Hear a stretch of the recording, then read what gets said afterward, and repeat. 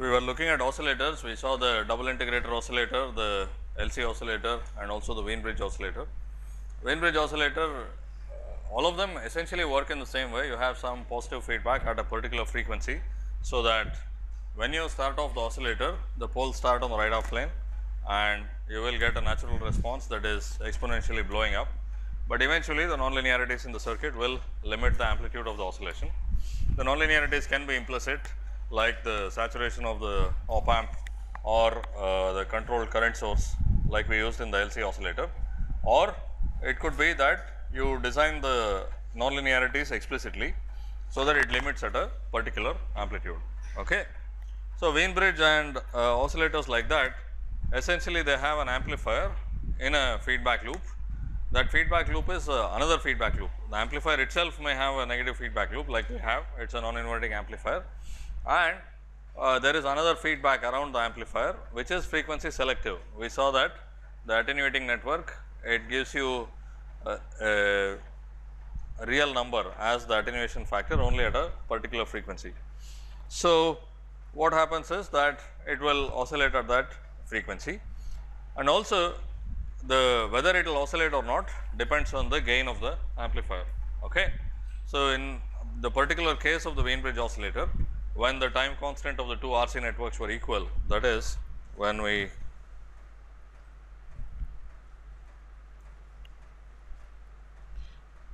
made it like this. This is the output of the amplifier and this is the input and this has a gain k and let us say these are identical. So, in this case this will oscillate for k what is the condition huh? greater than 3 and it does not oscillate for k less than that. So, now that gives you a knob to turn to either let it oscillate or not. Now, we saw that this could be implemented using a non-inverting amplifier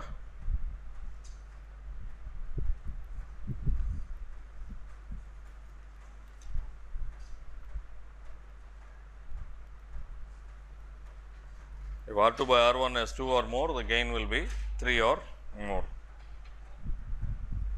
Okay.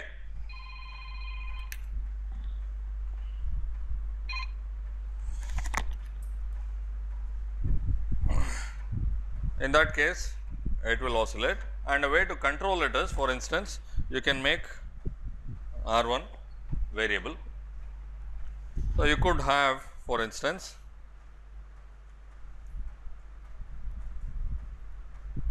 an amplitude detector. We probably not have time to discuss how to make this, but I think you have made one in the lab right using a peak detector or something.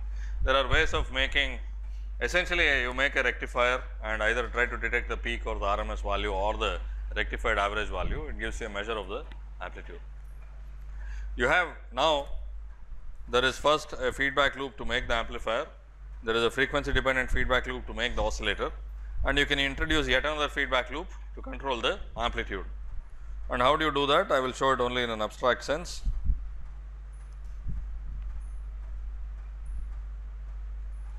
You compare it with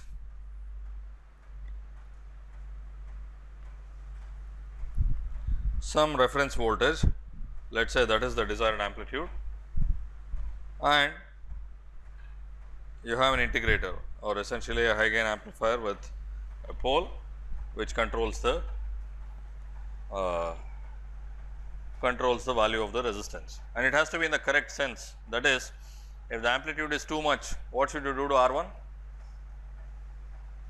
If the amplitude is too high what should happen to R 1? It should increase so that it will go away from the oscillating region. Okay. So, if the polarities are all like this and we, if we assume that this control voltage uh, monotonically increases the conductance, this is fine. But anyway, I mean you have to see the sense of the uh, feedback. Okay. So, you will have also an amplitude control loop. So, in this case it will oscillate at a frequency 1 by RC and an amplitude of Vref. I am assuming that this amplitude detector gives you exactly what the amplitude here is and that will be made equal to Vref. The output of the amplitude detector will be made equal to Vref. Okay. I will not go into any further details, but uh, if you have an amplitude detector you can make this and you need to also have a variable resistor R 1 okay. and that can be implemented using MOS transistors and so on. And we also saw a particular implementation which implicitly combines the amplitude detector and the variable resistor which was to stick a light bulb in place of R 1 okay. So, which I told you also was uh, the first product of Hewlett Packard okay.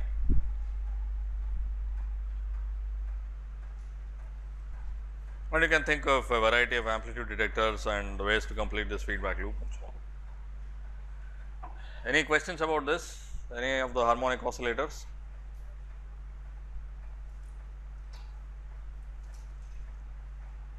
You have a feedback loop where you have the loop gain hovering around minus 1 at a particular frequency and you have another feedback control loop. So, that loop gain moves in the appropriate direction depending on the amplitude. That is in a nutshell how do you make an amplitude stabilized oscillator. Okay. If you did not care about the waveform you would not do this, you would have an amplitude uh, detector and all this stuff. You would simply make the loop gain slightly more than uh, uh, I mean slightly more negative than minus 1 or you make the gain of the amplifier slightly more than 3 to start with. So, that it is guaranteed to start up after that it will go and give you a slightly I mean non sinusoidal waveform that is okay. Actually there is a large number of applications where it is the periodicity of the waveform that matters that is every period has to be equal to the other all the other periods deviations from periodicity should be small, but the waveform need not be sinusoidal you could have a square wave and in fact many times a square wave is desired. Okay. When you clock digital logic circuits you, even if you have a sinusoidal waveform you would probably try to make it a square wave before using it as a clock right. Any questions about this?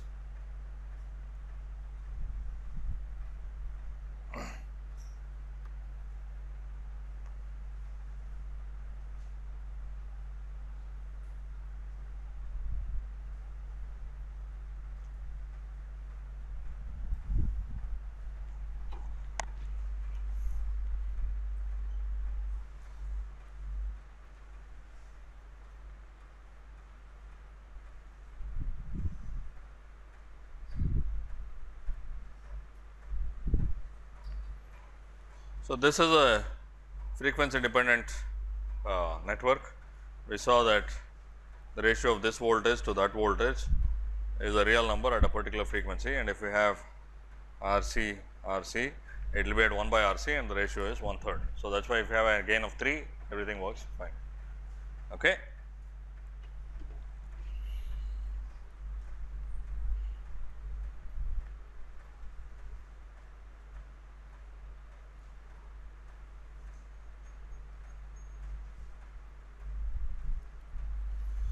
This is the oscillator we discussed so far.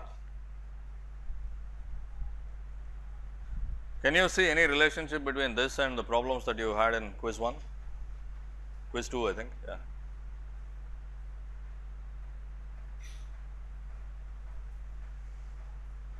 Is there a relationship or no? There were some networks like this, right?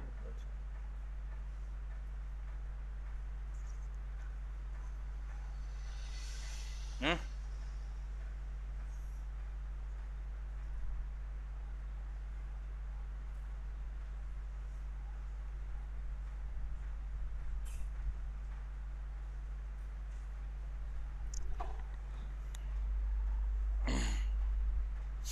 So, one way to think about this is that this is what we have done now.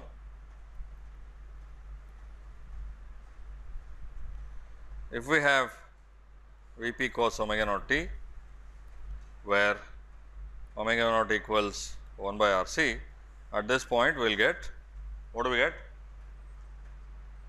What do we get? V p by 3 cos omega naught T and then you make it self sustaining with an amplifier of gain 3. Okay. The other ways of uh, doing the same thing.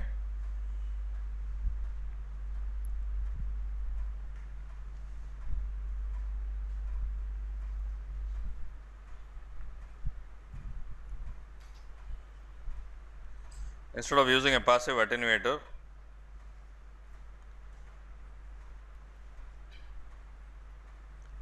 let us say I make it make it something like this. This is Z 1 and Z 2. Okay. I mean this is Z 1, Z 2, right. Assuming that the op amp is in negative feedback, which means this is at virtual ground. What is V b by V a? I mean, what will be V b by V a? Minus Z 2 by Z 1 and will it be real at a particular frequency and how much is it? Hmm? At 1 by R c. So, at 1 by R c what is the value? Huh? Minus? Minus how much? Minus 2 right because uh, the impedance of these branches are square root 2 with a phase lag of 45 degrees and this is r divided by square root 2 with the same phase lag. So, this is okay sorry minus uh, yeah minus 2 okay. So, if I apply V p cos omega naught t here omega naught being 1 by R c I would get 2 V p cos omega naught t okay.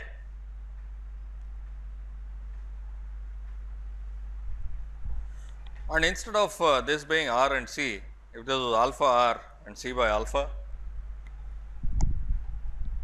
what is the frequency at which V b by V a is a real number?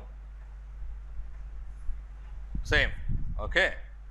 But uh, what will be the value of V b by V a at that frequency?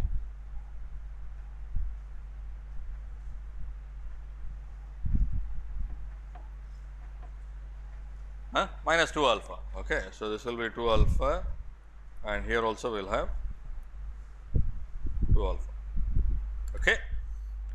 Only at this, this particular frequency. So, this is also some sort of frequency selective network. Now, how do you turn this into a self sustaining oscillator? What do you have to do?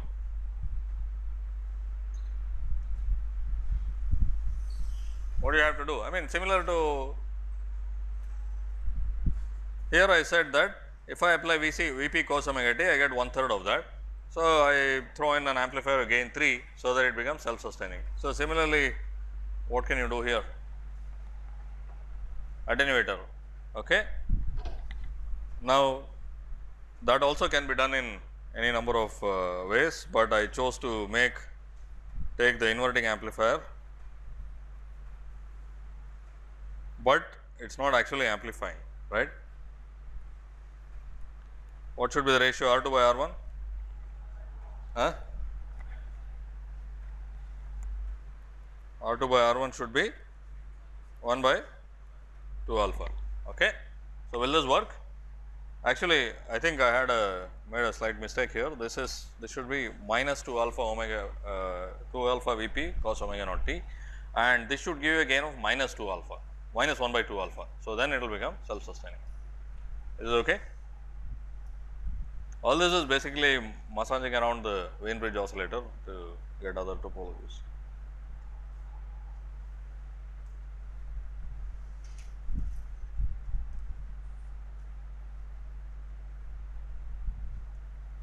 So, if you now break this loop and look for uh, loop gain being minus 1 or the self sustaining condition, you apply a sinusoidal voltage at some frequency and the return stuff should be exactly the same amplitude and frequency. So, then you can kind of switch out your voltage source and connect this and nothing will change, okay? you will get the conditions. And now you can assign the signs to have negative feedback for both op amps that is not difficult. Okay. Any questions here? So, this was one of the topologies given, I think alpha was 2 or something. Now, how did we get the other topology? I think uh, the set of you had a different type of oscillator.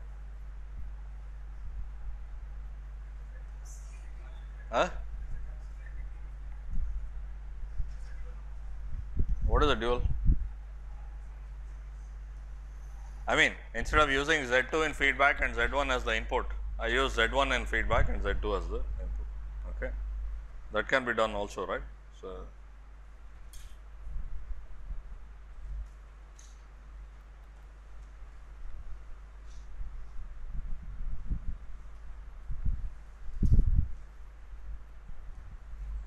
let us say I choose RC, I do not remember what values I had given, but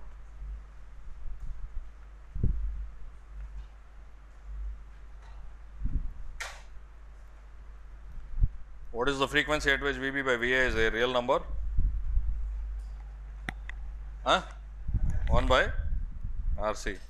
And what is the value at 1 by RC?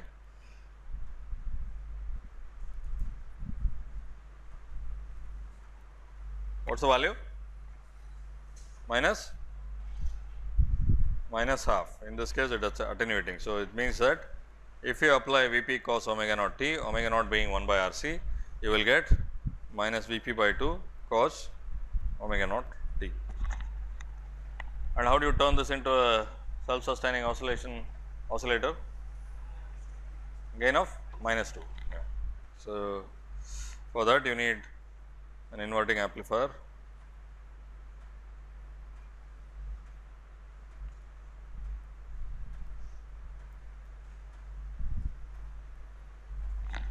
Okay.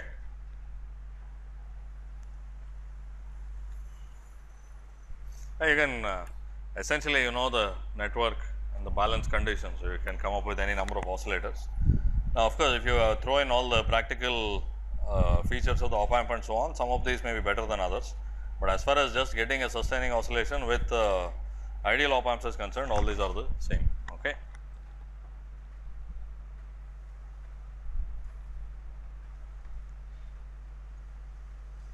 Now, there is some uh, practical implication. In fact, if you read that Jim Williams's article in the book I mentioned, you will probably see that. What is the difference between this oscillator and either this or that one in the way the op amp is used or the kind of signals that the op amp sees.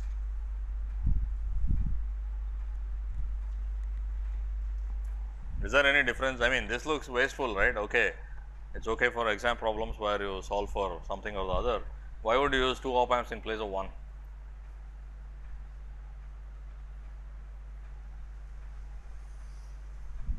Any guesses?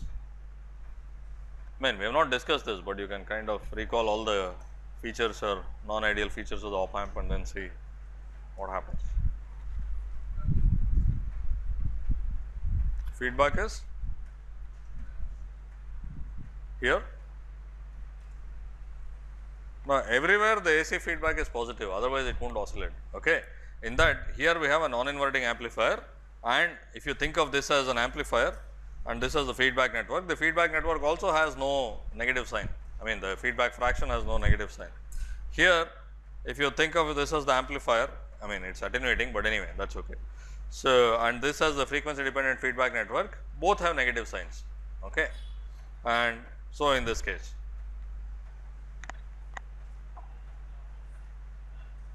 offset is not actually very relevant for oscillators, but some other feature of the what other characteristics of the op amp have we discussed? Bandwidth, yeah, it will have some effect, but I do not know what effect it has that is not. The common mode voltage is the So, let us say here the output amplitude is V p cos omega naught t what is the common mode voltage for the op amp? What is the common mode voltage? It is the average of the two input voltages, right. The difference of the input voltage of the op amp is nearly 0 as long as you have high enough loop gain. Okay, let us assume that is the case. What is the common mode voltage of the op amp? What is it? Common mode input voltage of the op amp, the average of the two input voltages, what is that? How much? One third, right? So, you get one third here, one third there. I mean, if you assume an ideal op amp, basically there is some okay. So, I am just pointing this out as a fact. We have not done the analysis of what this common mode voltage will do, but what is the common mode inputs of the op amps here? 0, okay, because this is nearly at virtual ground, this is at ground, so is this. So, it turns out that this has some implications on distortion. So, if you make these oscillators with uh, similar op amps and if the distor it could be that the distortion is dominated by the common mode behavior of the op amp. In that case, these op amps which have 0 common mode voltages are better. Okay. So, in general if you look at the inverting op amp, inverting amplifier structure, the input common mode is 0, right, because one of the inputs of the amp, op amp is at ground, the other one is nearly at ground. So, the average is very close to 0. Whereas, if you look at non-inverting amplifier structure, the inputs of the op amp are very nearly equal to the input voltage itself. Okay.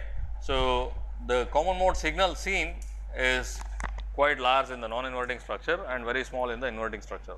So, that is why in practice you see as far as possible you try to make inverting type structures where the virtual node voltage is at 0.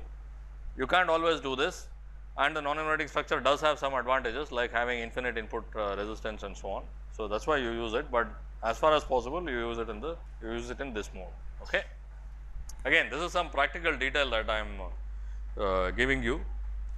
You will be able to understand this only if you build op amps and uh, analyze the non-ideality, build uh, these circuits and analyze non-ideal features and so on. Okay.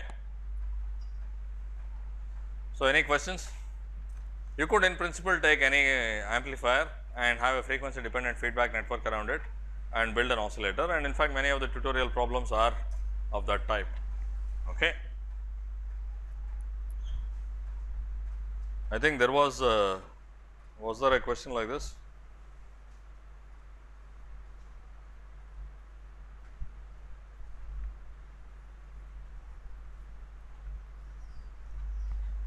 What should be the will it oscillate and what should be the value of k for it to oscillate?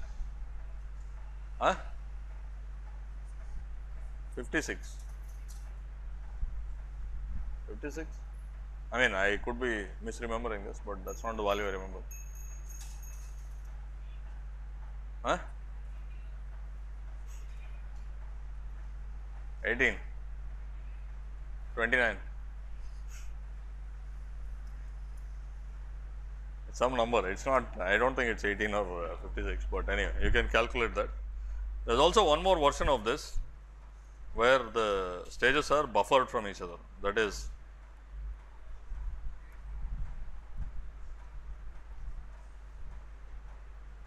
In fact, this we have evaluated in a different context in the class. Okay. What should be the gain here? Huh? 18, 8, 8 or 18? 18. How many say 18? How many say 8? Those of you who got 8 as the answer, does not it ring a bell? It is 8 is also the answer to something else. what is it the answer to?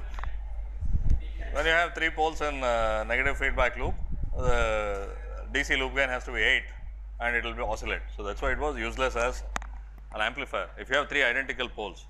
So, this is exactly the same case, right. You have 3 identical poles in a negative feedback loop.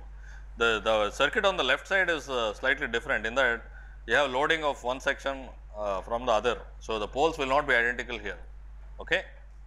and the gain will be different go and evaluate it properly. I do not think it is either 18 or 9 or 36 uh, or 56 okay it is some other number. But uh, I mean I am assuming of course was this uh, were all the R's and C's identical. So, you can evaluate it okay. So, for this it is 8 right because you will get 8 by 1 plus S by P 1 cube and at a particular frequency this becomes uh, the loop gain becomes minus 1 and it will oscillate. Okay. So, the gain here has to be actually minus 8 right. Is okay? So, yeah, I mean uh, many very quite easy to generate problems of this type and I also told you that uh, many times you try to make an amplifier and it will tend to oscillate. Okay. Okay. Any other questions on oscillators of any type? I mean, either the Wien bridge or the double integrator or uh, the LC oscillator. So, there are two types, one where you need sinusoidal waveforms and one where you do not and typically I would say most of the applications you do not because you are looking to generate a periodic signal not a sinusoidal signal. So, in those cases you not worry about like careful amplitude stabilization and so on. Okay. And actual waveform can be anything. In fact, in the Schmitt-Trigger uh, oscillator that you have, you have uh, uh, waveform that is either a triangular wave or a square wave. Okay. And a lot of times you get something that is neither a square or nor a sine wave and you make it as close to a square wave as possible for clocking digital circuits. Okay.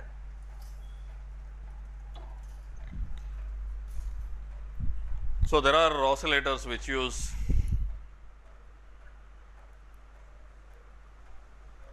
physical LCs. So, that is what I call an LC oscillator because some other oscillators also when you have two capacitors like the double integrator you can take a section of the circuit and then it follows the VI relationship of an inductor, but that is not what I call an LC oscillator. LC oscillator means there is a physical inductor which stores energy in its magnetic field and a capacitor.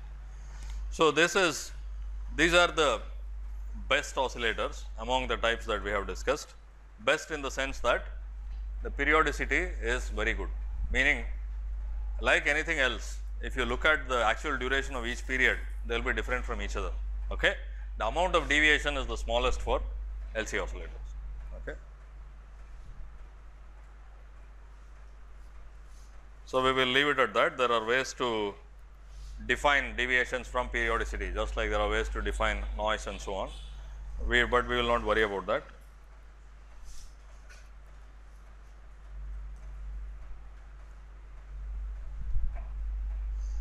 And then there are what are known as ring oscillators which we did not explicitly discuss, but essentially they follow this. You have 3 or more amplifiers in a negative feedback ring and it will start oscillating. And how you would do, how would you implement this if you have inverters which are also amplifiers in some region of operation in a ring, it will oscillate. Okay. So, they are kind of the next best. And then you have other what are known as harmonic oscillators like the double integrator or the Wien bridge. Double integrator using op amps I mean.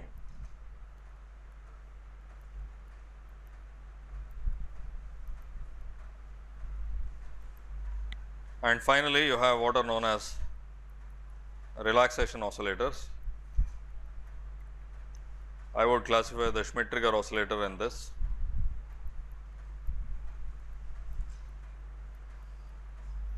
Okay. And in general, as you go up from the bottom, you have better periodicity, periodicity and also higher maximum frequency. That is, the highest frequency LC oscillator that you can design will be at a much higher frequency than the highest frequency ring oscillator or definitely which will be better, which will be higher than the highest frequency relaxation oscillator and so on. Okay. Again, you do not have to worry too much about the details, these are some facts that I am giving you, okay, because we are not going to analyze these aspects of the os oscillators anyhow. Yeah. No, but uh, this itself is a buffer, right, because this is not drawing any current. As long as you do not draw any current from this, you will get that. Okay. I did not draw another buffer here because I mean this is also I assumed is something with a high impedance, right, if I write it as a block diagram like this. So, because if I have one more buffer of uh, gain 1, what difference does it make? Nothing.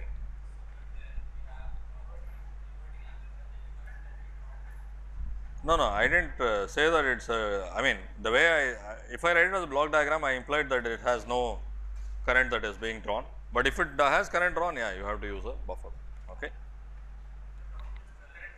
Okay. So, in that case, yeah, you have to have a buffer and in fact, a ring oscillator is the three stages will be identical. You can think of it as stages gains of minus 2, minus 2 and minus 2. So, that will give you oscillation. Okay. I mean again I am assuming no current is drawn here. So, uh, have you seen the ring oscillator in some digital course? You stick three inverters in a ring and it will start oscillating. This is exactly what it is. Okay. Of course, it will go into, oh you have not seen it? So, you may have seen odd number of uh, inverters in a ring. This the way it is explained with the logic is that perhaps you have logic 1 here that will induce a logic 0 here, that will induce a logic 1, it will induce a logic 0 which is the same as this and now everything will invert. This will become 1, this will become 0, that will become 1 and the cycle repeats.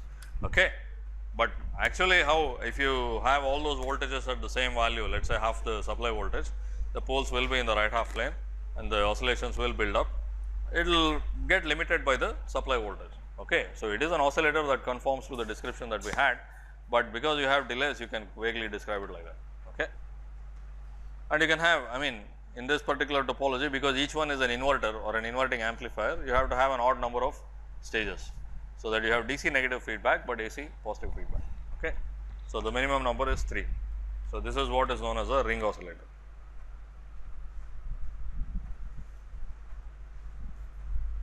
So, the CMOS inverter is also an amplifier.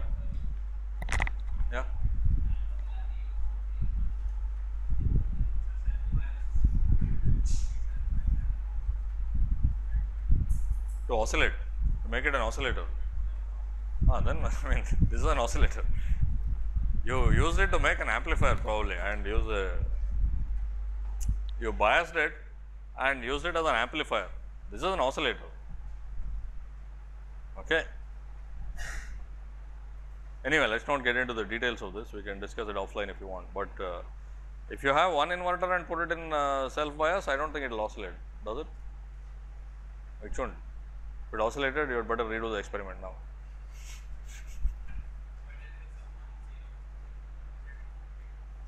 Ah, no, that is what that is the flaw with that kind of explanation. So, it looks like I mean this depends on what is inside the inverter. Okay.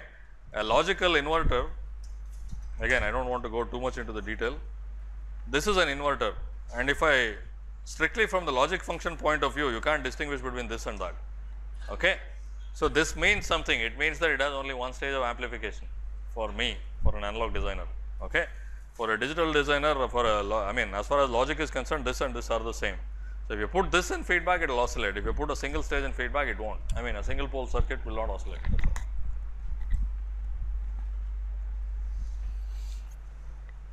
So, you have to be careful also while doing this. In fact, that amplifier experiment, there are things that are sold as inverters which have 3 stages like this.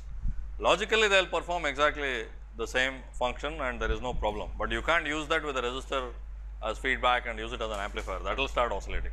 Okay. Any other questions about oscillators?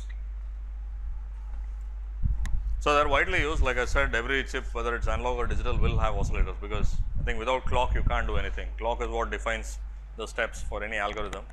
So, everything happens at some clock edge. Okay.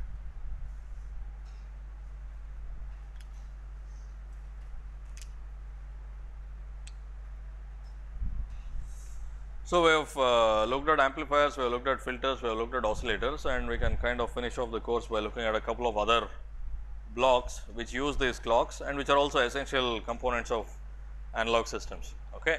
I think earlier I must have shown you a block diagrammatic picture where you have continuous time signals and that gets converted to digital signal and then is processed by a digital signal processing core. Now, we the amplifiers and so on are continuous time input, continuous time output. Now, we will look at some circuits which uh, kind of uh, give you a feel for how to go from continuous time to discrete time domain basically sampling and quantization. Okay.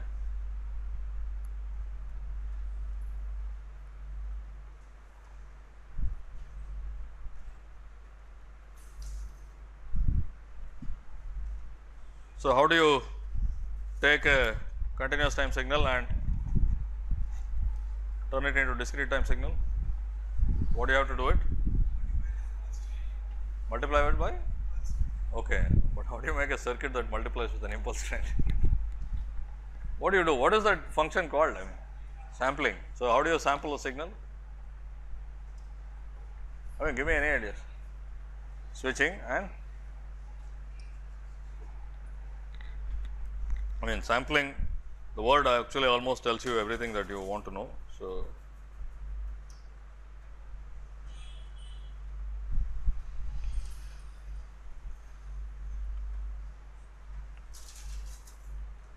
So, if this is V i and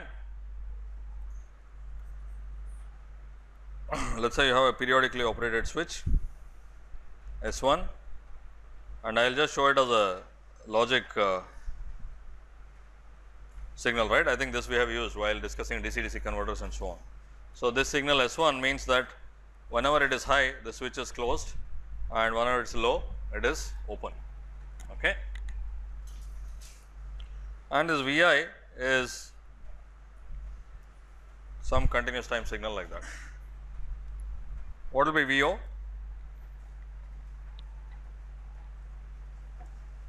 What will be V o? Whenever S 1 is high, that part will be. So, when S 1 is high, essentially we have a connection here, right. So, V o will be equal to V i.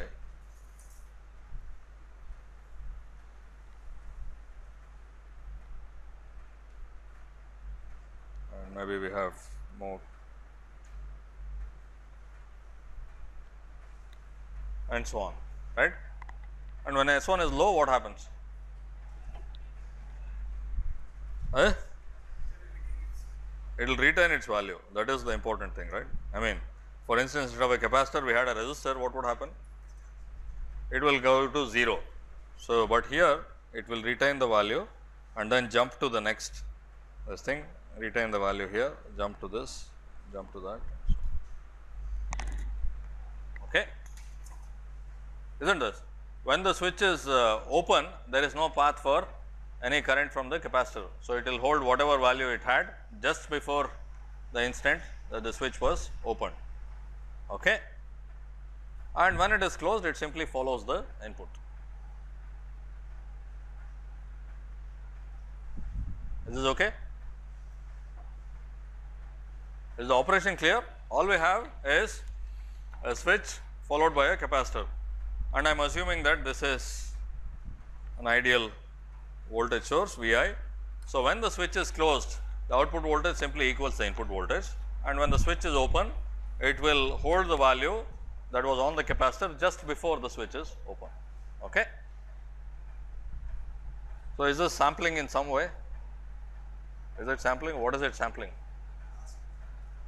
it is sampling the value of V i just before the switch was open. Okay. A block like this, this is called a track and hold because it is tracking the input in one of the clock phases.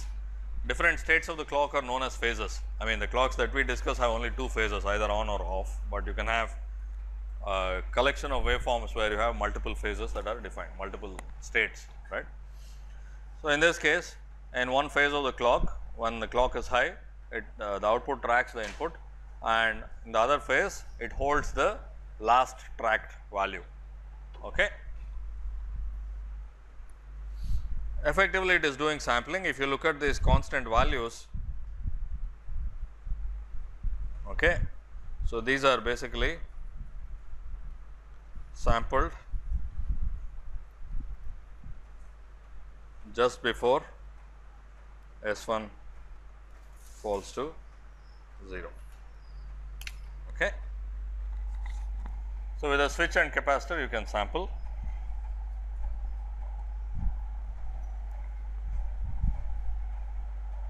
Any questions here about the track and hold?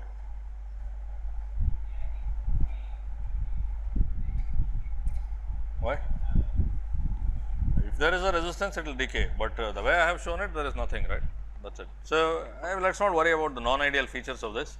Again if you do have uh, leakage in the capacitor that limits how, how long the interval can be right. By making the interval shorter and shorter you can get around the effects of leakage. Now, this is a track and hold that is fine, but let us say I did not want this uh, tracking phase at all. That is what I want is a waveform that does something like this. It should be like that and then it should jump to the next sample and the next sample and the next sample value. You may have seen this kind of waveform, right? It is called a sampled and held waveform. Have you seen this in signals and systems? No? So, you are taking samples here and the output is a continuous time waveform, but it jumps from one sampled value to the next. You must have seen this somewhere, yeah. So, how do I get that? I do not want this business of tracking the input in half the time, right. All I want is, I want to sample, hold that value until the next sampling instant, hold that value until the next sampling instant and so on. Is it? Is it have? Positive duty cycle of S1. What should I do? Ah, how should I change it? You are saying make the duty cycle so small that the on period is very small. Okay. Yeah, that is a, a, reasonable idea, but uh, the problem with that is the following. Okay. Again, we will not discuss the non-idealities in any detail, but what he is saying is, yeah, that is actually a, you make the tracking window so narrow that it is almost as though it is not there. Okay. So, that is possible, right? Is that okay? Will that work? Essentially what he is saying is you make this tracking uh, window very narrow, okay. So, it looks like it will work or no, what is the problem? Yeah, in reality the switch will have resistance, this voltage source will have some resistance. So, you should leave enough room for the capacitor to charge that is the problem otherwise this uh, will work. Okay. So, what should I do now? I mean a more uh, uh, practical. Huh? D latch. What is the output of a D latch?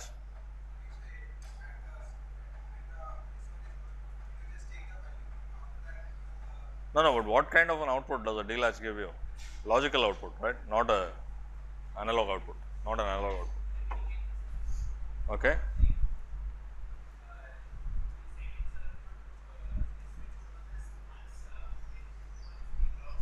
Okay, S1 bar, right? That is what you mean. S1 bar, I mean that means the logical complement of S1. Is that going to work? I mean essentially when S1 goes to 0, S1 bar goes to 1. Is that what you mean? Will this work?